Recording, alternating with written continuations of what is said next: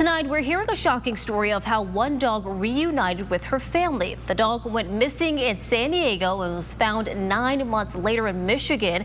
ABC 10 News reporter Perla Shaheen spoke to the family today and shares what we know so far.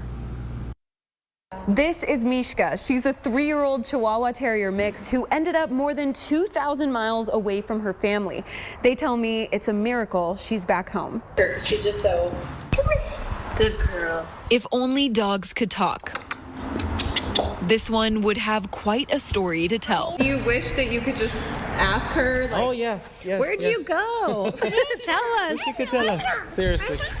On July 16th of 2023, sweet little Mishka was hanging out at her dad's auto repair shop in the Midway district, as she often would. All of a sudden, I noticed she's not there. Just like that, their fourth family member went missing. The Humans desperately searched for Mishka. Hi, Mishi. Liz Human says she put up more than a thousand flyers throughout San Diego. Whenever it rained, it just broke my heart. Like wherever she is, I really hope that she's safe. And like that was really, um, Yeah. that was scary. That really hurt my heart a lot.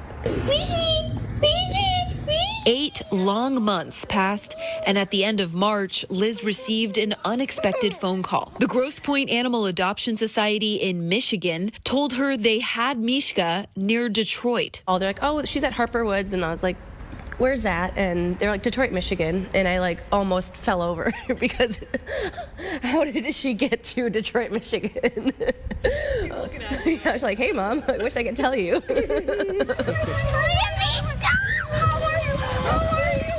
This is the moment the Humans reunited with their beloved dog. Liz says someone found Mishka walking the streets of Detroit and reported it to police.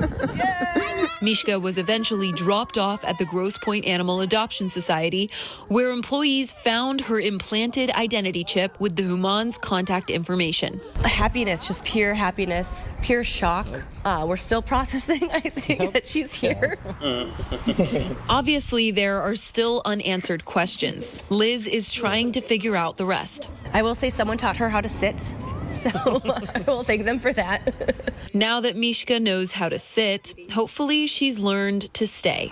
She's our girl. We love you so much. We love you so much. Perla Shaheen, ABC 10 News.